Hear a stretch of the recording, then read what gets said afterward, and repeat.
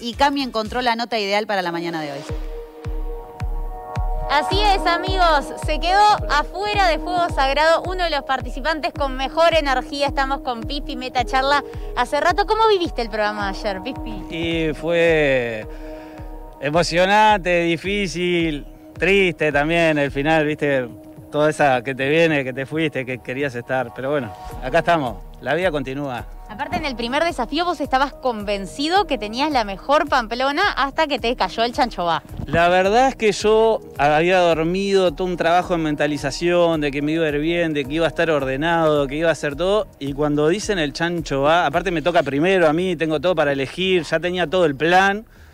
Me descolocó de una manera que la frustración no la pude recuperar en todo el certamen y después me empezaron a pasar cosas, de que se me apaga el fuego, tengo que poner en la plancha, se me entra a prender la plancha, se me explota, me prendo fuego. Cuando tengo la pamplona... Momento, el momento donde te quemás es como un momento medio culmine para vos, ¿no? Porque después te queda doliendo, te tuvieron que asistir de Casmo, ¿cómo fue? No, en el momento cuando explota todo quedaban 7, 8 minutos para el final y la realidad es que entre la adrenalina y todo fue sentir la quemazón y seguí para adelante.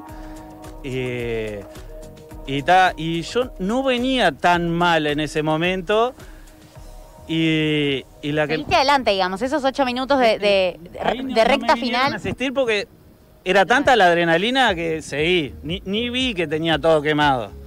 Eh, Aclaremos por favor que las cosas que tenés puestas obviamente son parte de, tu personalidad chistosa, que no es que estés eh, lastimado para nada. Y bueno, sí, lo podemos aclarar. Pero viste que pasan cosas. esto así hubiera sido si seguía adelante en el, en el programa, pero bueno, por suerte quedé eliminado.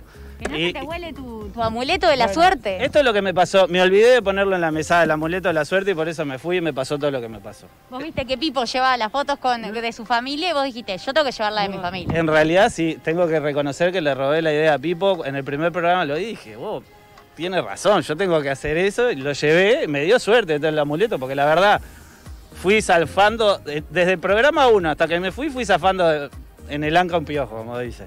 Y y ese día me olvidé de ponerlo, ¿sabes? Lo llevé, lo tenía todo y me olvidé de sacarlo de la mochila y ponerlo en la estación. Y ahí me pasó lo que me pasó.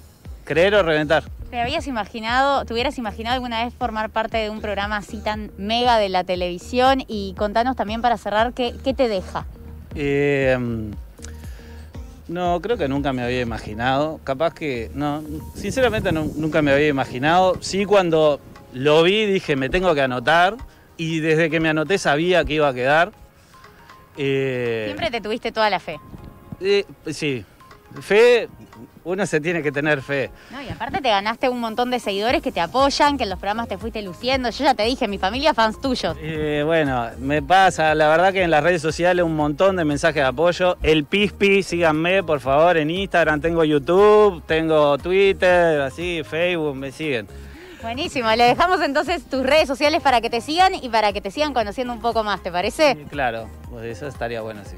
Pipi, un placer venir contigo. La verdad, estamos re cortito de tiempo porque hay tanta cosa para contar de lo que pasó ayer, que lo vimos y estuvo buenísimo. Yo creo que te quedaste afuera por muy poca cosa. En el desafío de eliminación fue muy poco lo que salió mal, pero viste que ahora ya estamos buscando al mejor asador del país. Mirá, acá me pasa de que dejé unos raxitos de cordero que estaban un puntito más abajo y yo pensé que tenía que poner y ahí le re... Pero bueno, viste, falta de experiencia, falta de, también de técnica un poco y ahí se ve.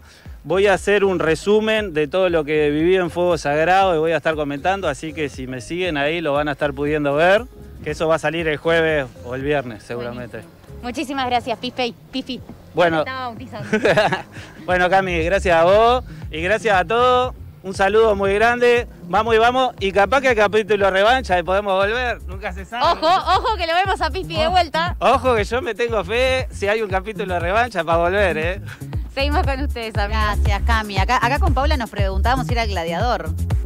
estaba, sí, estaba como. está vendado. Sí, todo vendado, así que personaje adorable. Acá está bueno lo que dice el loco, que buen tipo para que tenga un negocio.